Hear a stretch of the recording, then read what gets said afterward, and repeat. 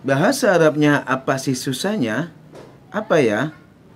Pada konten sebelumnya kita sudah membahas ungkapan sehari-hari dalam bahasa Arab, maukah? Hari ini kita akan membahas tentang uslub ungkapan sehari-hari dalam bahasa Arab.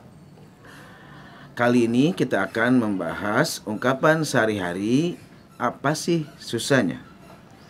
Ternyata dalam bahasa Arab kita bisa menemukan sebuah kalimat yang bisa kita artikan sebagai apa sih susahnya.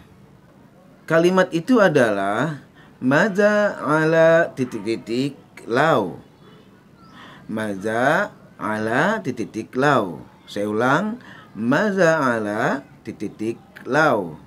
Masalah awal, contoh yang pertama adalah Mada alaika lau ittasolta biumika kula yaumin. Apa sih susahnya kalau kamu menelpon ibumu setiap hari? Maza alaika lau ittasolta biumika kula yaumin. Apa sih susahnya kalau kamu menelpon ibumu setiap hari?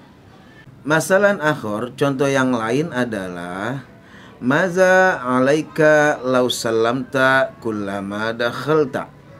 Apa sih susahnya kalau kamu mengucap salam setiap kamu masuk? Saya ulang, Maza alaika lau salamta kullama dakhalta. Apa sih susahnya kalau kamu mengucap salam ketika kamu masuk?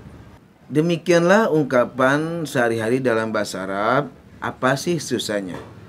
Kita berjumpa lagi pada konten berikutnya.